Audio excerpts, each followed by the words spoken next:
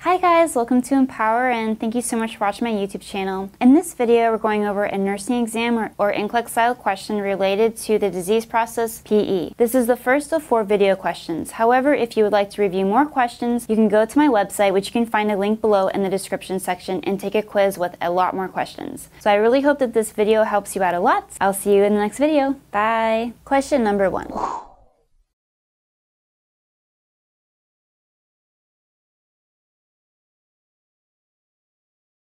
After recovery from an episode of acute pulmonary edema, the physician ordered to administer angiotensin converting enzyme or ACE inhibitor. Which of the following best explains the purpose of this order?